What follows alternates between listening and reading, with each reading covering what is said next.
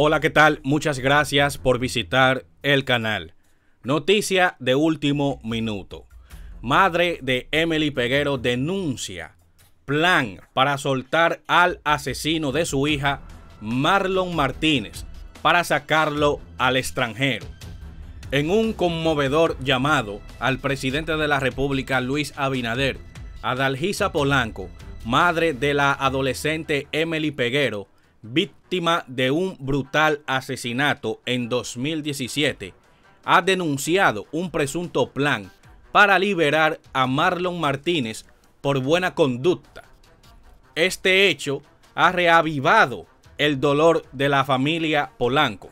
La afectada realizó sus declaraciones en un video dirigido al programa Despierta Ahora, transmitido por la llave del amor 95.7 FM, Tenarenses TV y Salcedo Presente RD. Polanco expresó su temor ante la posibilidad de que el homicida de su hija obtenga libertad prematura. La madre de Marlon Martínez, Marlene Martínez, quien debería estar presa, pero la justicia falló a su favor, es la que está detrás moviendo la poca influencia que le queda en este país para tratar de liberar a su hijo y así sacarlo de la República Dominicana para vivir en el extranjero. Emily Peguero, de 16 años y embarazada, fue víctima de un crimen que conmocionó al país. Martínez, su pareja, recibió una condena de 30 años, mientras que su madre, Marlene, fue sentenciada por encubrimiento. La madre de la joven fallecida calificó el papel de Marlene Martínez como indecoroso, cobarde y mezquino. Además, exigió la identificación y sanción de quienes estén detrás del supuesto plan para favorecer al condenado. Buenas tardes.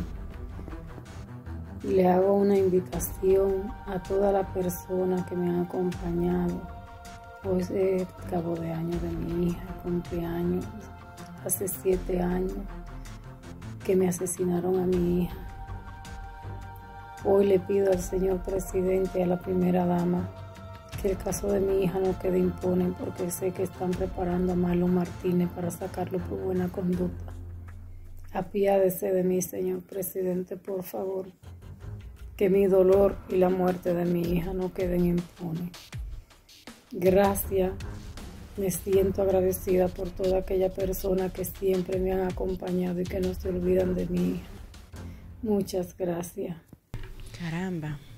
Me imagino yo lo difícil que debió de haber sido para Dalgisa el grabar ese video. Ay, Dios, Siete años después, señores, y me parece a mí, mire Lincoln, que la madre de ese muchacho al sol de hoy debería de estar presa también. Sí, sí, sí. Debería de estar presa. De por vida presos. Sí. Yo entiendo que la justicia debe ser justa, sería la palabra, porque hoy se cumplen siete años de la muerte de Emily Peguero. Ahí vemos a Dalgisa, una madre que desde el primer día hasta el día de hoy seguimos, la, seguimos viéndola con el mismo sentimiento.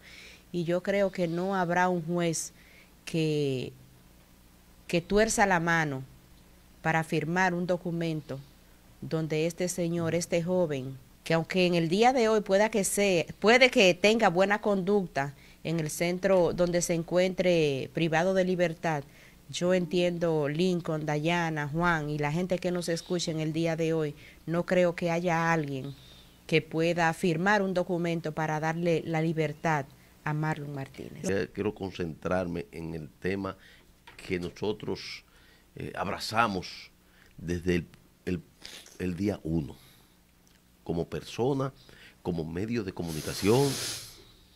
Recuerdo que cuando fue encontrado el cadáver de Emily Peguero, que a propósito, siete años, el día de hoy, un 23 de agosto, cuando se iba a hacer la vela, algo me dijo a mí, ve, ve, donde esa familia que está sufriendo mucho. Y yo me levanté con eso. Y le dije a mi mamá un domingo, mamá, yo voy a donde eh, a, estar con esa familia. No la conocía. Y llegué a Santa Ana, Villatapia, preguntando, preguntando hasta que llegué. Y cuando llegué me, me encontré con esta, hasta el aire estaba triste. Y me encontré con esta familia destrozada.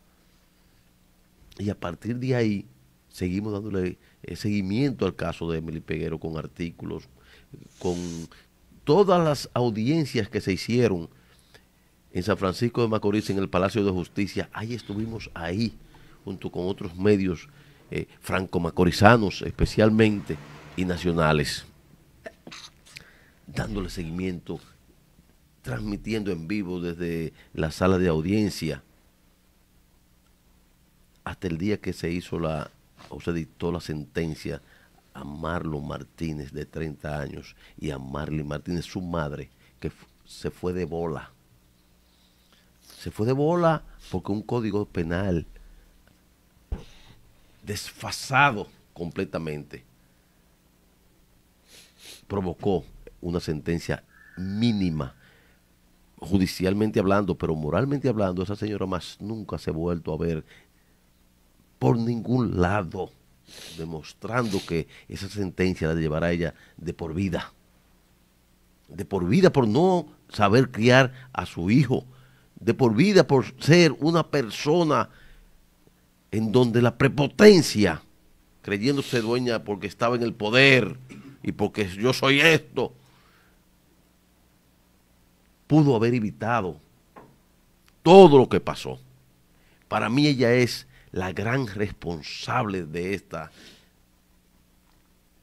tragedia, de esta noticia que lutó al país y al mundo, el asesinato de Emily Peguero, de la manera que la asesinaron, junto a su hijo Jacob Moisés de cinco meses. ¿Ustedes creen que Marlon se merece salir ni siquiera a la esquina a tomar su refresco?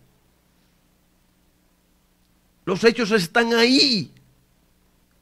Y Adalgisa Polanco, que está en Alemania en estos momentos junto a su esposo Isidro, siempre un día como hoy nos manda un video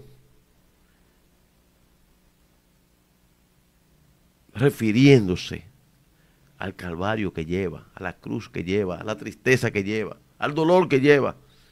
Y me llama la atención que este video, porque allá en Alemania son como las 4 de la tarde, este video que vamos a compartir con ustedes como una primicia, hace un llamado, una denuncia de que están tratando de sacar o bajarle la condena a Marlon Martínez por buena conducta. Y a Dalgisa le hace un llamado al presidente de la República, Luis Abinader, para que tenga pendiente de que este señor cumpla hasta el último día de su, de su sentencia. 30 años son pocos.